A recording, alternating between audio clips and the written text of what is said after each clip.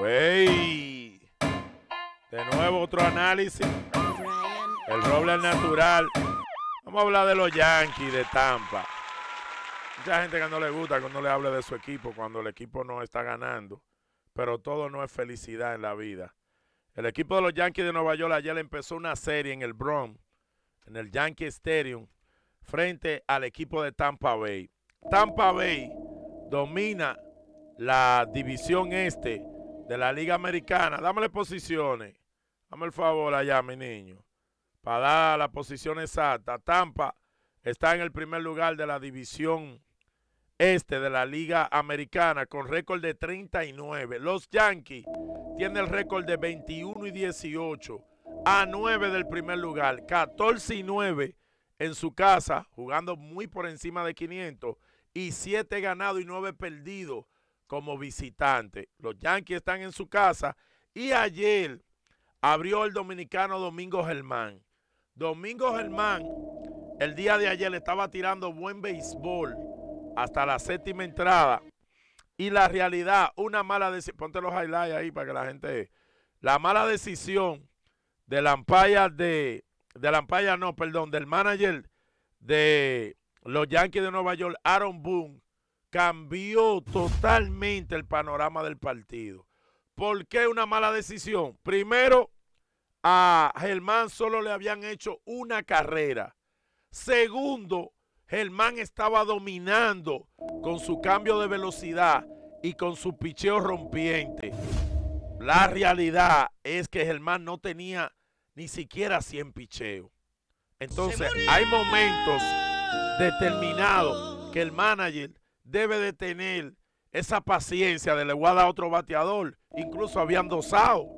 Que tú me dices a mí, no hay un panorama donde le están dando al tipo en ese pero ni siquiera le están dando.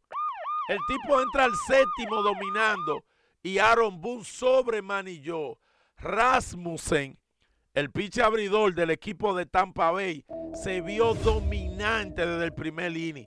Incluso él tiró siete innings en blanco y el equipo de los Yankees hizo dos carreras ya en el cierre de la novena entrada. Un error costoso de Anthony Rizzo también provocó que el equipo de Tampa Bay pudiera anotar carrera. Sigue el equipo de los Yankees de Nueva York después de haber venido de barrerle una serie a Oakland. Pero ¿quién es Oakland? ¿Quién es Oakland? Un equipo que tiene 8 ganados y 30 perdidos. Buscando un récord de más perdido en una temporada en Grandes Ligas.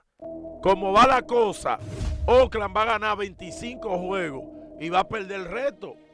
Entonces la realidad, los Yankees tenían que demostrar en este primer partido frente a Tampa que ellos lo que hicieron con Oakland no era casualidad porque el equipo era un equipo débil.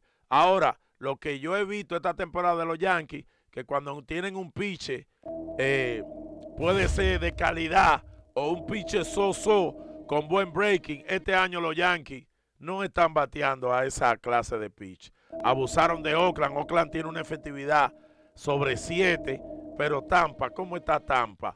Vámonos a la estadística de Tampa Bay. Búscame el pichó colectivo. ¿Cómo va el pichó colectivo del equipo de Tampa? Y dice que el pichó colectivo tiene efectividad de 2.93 por debajo de 3. Ahora dámela los últimos 7 días del equipo de Tampa. ¿Cómo ha estado su picheo?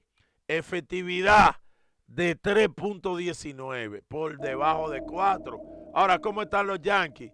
En los últimos 7 días tiene que tener buen, buen promedio de bateo. Debe de, debe de estar sobre 250 porque ellos mataron a Oakland y 100, 11, 7 carreras. O sea, fue un abuso de verdad lo que hizo el equipo de los Yankees con Oakland. Bateo colectivo los últimos 7 días, total 232. Dámelo los últimos 7 días. 253. Ahora, dale al picheo colectivo como está, a sabienda de que ese picheo le tiró a Tampa. Total 367, últimos 7 días. Últimos 7 días del equipo de Tampa. Lo han matado al picheo 433. Porque tú tienes un equipo que cuando el picheo falla, el bateo responde. que eso es importante mantener ese balance.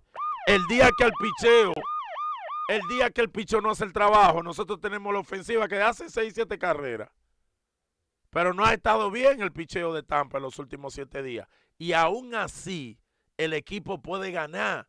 Eso te quiere decir que ese equipo está compacto y que es un equipo que el día que falla la ofensiva, el picheo te puede hacer trabajo. Ahora los Yankees están mal, my friend.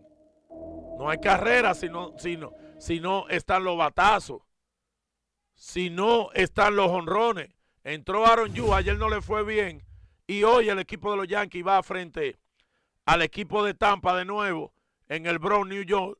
Eh, New York, hoy va a Gerrit Cole. Cole que tiene récord de 5 ganados y 0 perdidos. Búscame si, si él perdió la última vez. Búscame la estadística de los Yankees, a ver cómo está Cole. Gerrit Cole, Gerrit Cole, Gerrit Cole, 5 ganados y 0 perdidos. Efectividad de 2.09. A sabiendas que lo caquearon la última salida. A sabiendas que también el equipo de los Yankees ayer falló Román Ignacio. Ayer falló Román Ignacio. También falló el relevista después de Maninacio, que es Wester. Lo mataron ayer, a Greg Weiser. Y la verdad es que el equipo de Tampa, señor, es un equipo que todo el mundo tú vas a la estadística, 8 honrones, 7 honrones, 5 honrones. Wander tiene 6, 7 honrones, Wander Franco. Yandy Díaz, más de 8 honrones. Entonces, la realidad, este equipo de Tampa será un hueso duro de roer para el equipo de los Yankees. Hoy va Gary Cole y como está Tampa, yo ni siquiera me voy a atrever a irme con Gary Cole hoy. Sigo con Tampa Bay porque es el equipo que está bateando. Dale like ahí, también comenta. Hablamos en ese juegazo del equipo de Tampa frente al equipo de los Yankees. Y los Yankees, lamentablemente, están 0880, timón dañado.